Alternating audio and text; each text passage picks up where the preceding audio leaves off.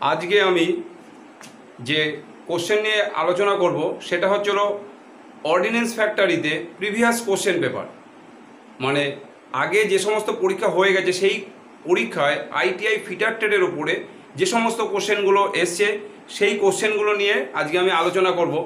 দেখো, আমি এখানে লিখেছি ordnance factory previous question paper মানে অর্ডিন্যান্স ফ্যাক্টরিতে আইটিআই ফিটার ট্রেডের যে সমস্ত ছেলেমেয়েরা পরীক্ষা দেবে টেকনিশিয়ান গ্রেড থ্রিতে, সেই পরীক্ষায় যে ধরনের কোশ্চেন আসবে, সেই কোশ্চেনগুলো আমি আজকে আলোচনা করব। যেগুলো এসে গেছে, সেই ধরনের কোশ্চেন আজকে আমি আলোচনা করব।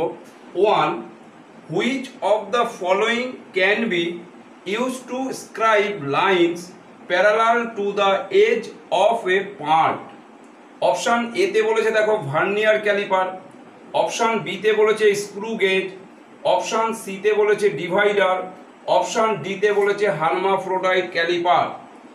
দেখো, এখানে যে কোশ্চেনটি বলেছে যে আমরা যে স্ক্রাইব মানে লাইন টানবো, প্যারালালে লাইন টানবো, যে কোনো একটা পার্টের ওপরে। দেখো, আমি তোমাদের এখানে এক্সাম্পল দিচ্ছি। আমার হাতে যে এই যে ডাসাটা এটা ধরো একটা রেক্ট্যাঙ্গুলার একটা পিস এর এইটাকে এজ বলা হচ্ছে। এই এজের সাথে আমি প্যারালালি এখানে একটা লাইন ড্র করব। এই লাইনটা টানতে গেলে আমরা কার মাধ্যমে লাইনটা টানবো? তাহলে এখানে যে অপশানগুলো আছে, এখানে যে অপশানগুলো রয়েছে, এখানে ভার্নিয়ার ক্যালিপার আছে, স্ক্রু গেজ আছে, ডিভাইডার আছে, হার্মাফ্রোডাইট ক্যালিপার আছে, এখানে যে অপশানটি হবে অপশান ডি, হার্মাফ্রোডাইট ক্যালিপার, যার আরেকটা নাম হচ্ছিল জেনি ক্যালিপার বা odd leg caliper. Next question question number two, the operation of threading a drill hole is called option A lapping option B reaming option C threading option D tapping দেখো, এখানে যে কোশ্চেনটি বলেছে, একটা drill whole একটা ছিদ্রের ভেতরে আমরা যে থ্রেডিং অপারেশন করি, সেটাকে আমরা কি বলি?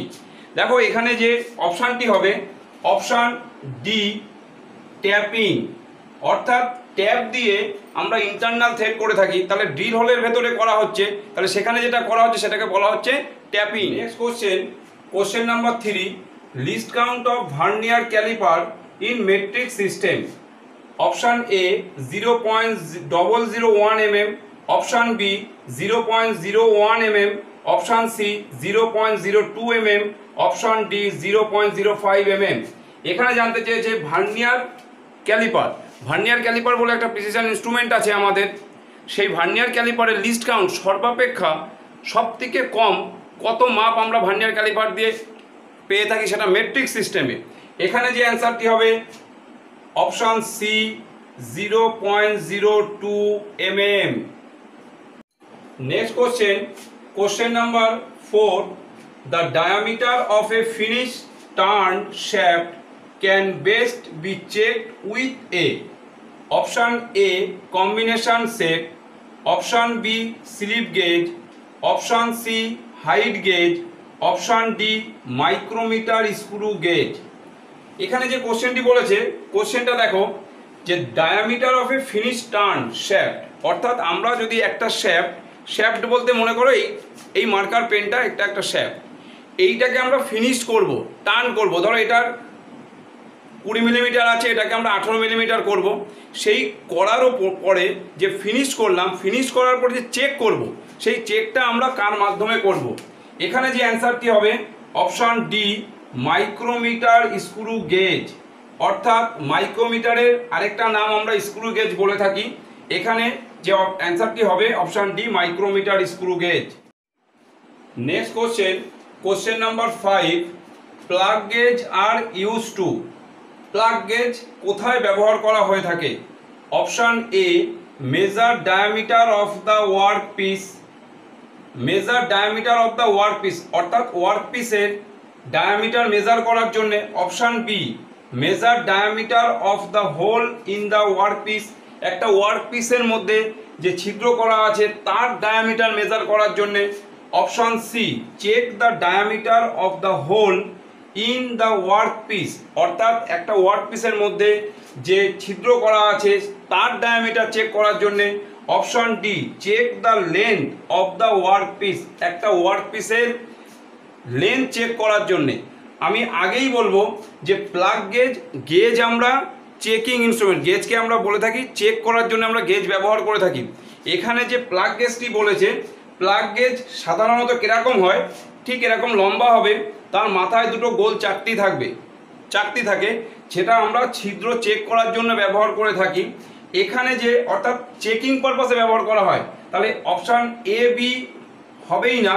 এখানে যে অ্যান্সারটি হবে অপশান সি অর্থাৎ check the diameter of the hole in the work piece next question question number six number of taps generally used for hand tapping R option A one, option D two, option C three, option D four.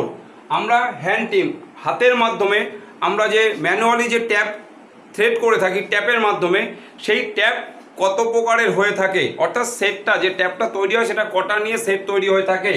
এখানে যে অ্যান্সারটি হবে, option C three. Next question question number seven which tool is use to cut and external thread option A twist drill option B, die, option C tap option D, হাফনার।